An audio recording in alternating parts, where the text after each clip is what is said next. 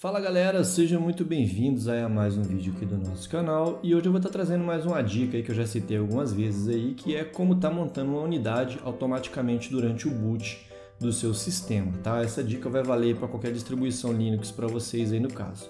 Deixa eu mostrar para vocês aqui. Uh, eu tenho uh, mais de uma HD aqui na máquina, então eu tenho três, quatro HDs aqui, tá? Na minha máquina, são são dois HDs de 500, um HD de 1TB e um SSD de 240 GB, tá? No, deixa eu ver se eu tenho um Gparted aqui, não estou mostrando vocês aqui, não tem aqui. Vamos instalar ele aqui rapidinho, só para me estar tá mostrando vocês aqui, ó. apt install Gparted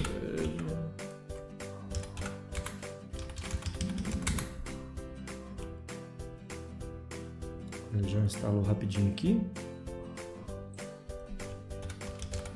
Portage, vamos lá.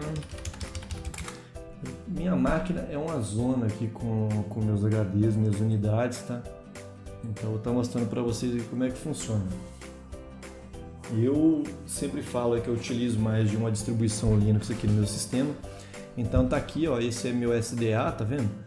Ele é meu SSD de 240 GB, então ele não dá os 240 GB exato, tá? Ele dá em torno de 220 GB aqui. E ele está dividido aqui em quatro partições, tá vendo? Quatro, três partições de 40 GB cada e uma aqui de, de 103 GB. Inclusive essa aqui eu tenho que dar uma olhada nela que ela está lotada já, tá vendo? Essa aqui eu acho que é meu Fedora.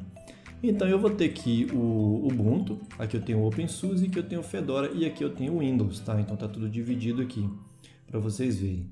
E também tenho mais três HDs aqui na minha máquina, tá vendo? Tenho minha home, que é meu SDB, de 1 GB, de 1 TB, tem meu SDC aqui, que é um HD de 400, e também tem um outro aqui de 1 TB, que é dividido em duas unidades, tá?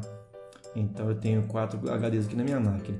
E dois deles eu faço um boot aqui durante o quando o sistema está carregando para ficar melhor, tá? E para fazer isso, galera, é para me evitar até que aqui no Ubuntu não é tão constante, mas ele não monta automaticamente, você tem que estar tá montando senão dá algum erro. E isso me incomoda pra caramba. Por exemplo, aqui, ó. Tá vendo? Agora eu tive que montar isso aqui. Já no Fedora me pede senha, no OpenSUSE também, posso configurar aqui no Ubuntu, mas no Ubuntu não pede senha.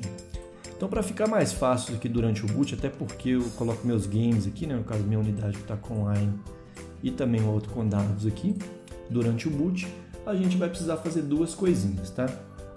Vamos precisar editar o arquivo é, fstab.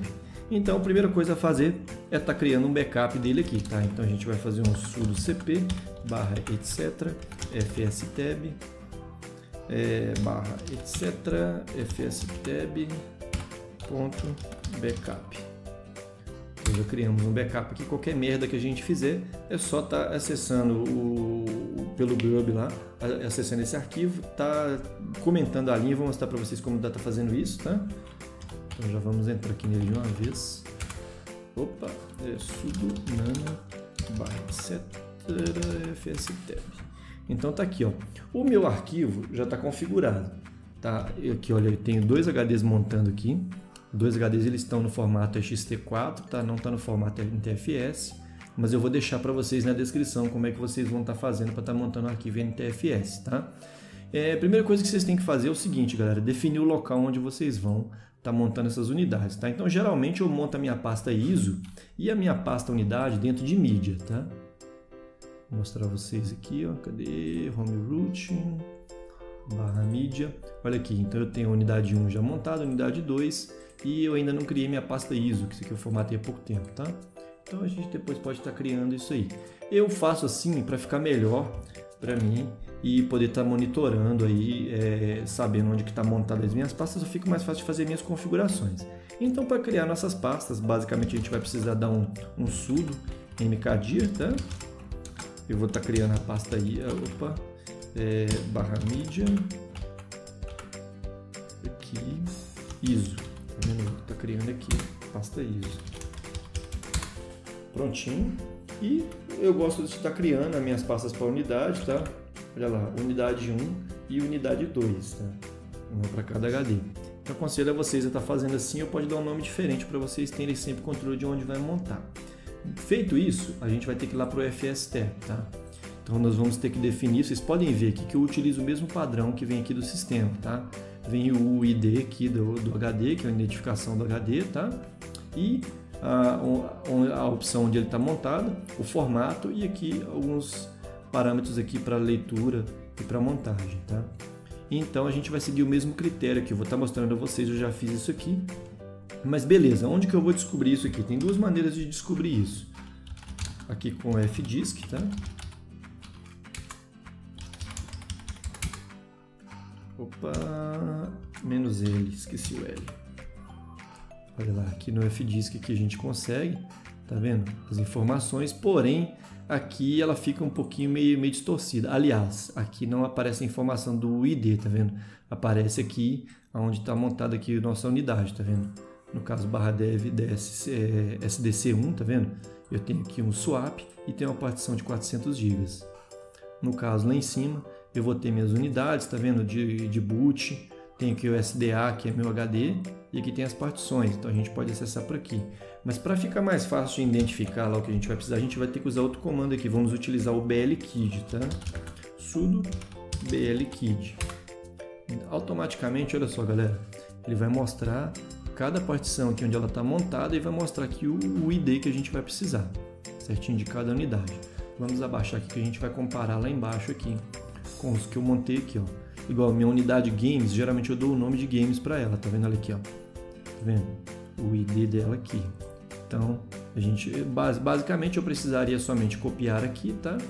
E tá colando aqui e depois indicando o caminho onde vai ser montado, tá? O formato da partição, eu gosto de estar deixando as opções aqui em default, tá? E aqui como leitura escrita tá certo? E aqui a mesma coisa na parte de games aqui, ó. Acho que eu peguei o de dados e games, então são essas duas aqui. Feito isso, é só dar um Ctrl X, pode estar utilizando ele de qualquer forma, o meu que é Ctrl XS vai salvar, tá? Olha lá. Feito isso, só rebootar o sistema, automaticamente ele já vai montar o HD de vocês dentro da pasta de onde vocês colocaram lá. No caso aqui, a minha pasta de root aqui, mídia, olha aqui, ó. Tá vendo? Uma é a unidade dados e dois é unidade games, onde eu salvo aqui os, os meus prefixos e também uns backups de alguns jogos. Certinho? Então, beleza, essa é a dica como tá montando a unidade aí junto com o boot do sistema. É, espero que vocês tenham curtido aí. Eu vou ficando por aqui. Um grande abraço, valeu aí, até a próxima. Tchau, tchau.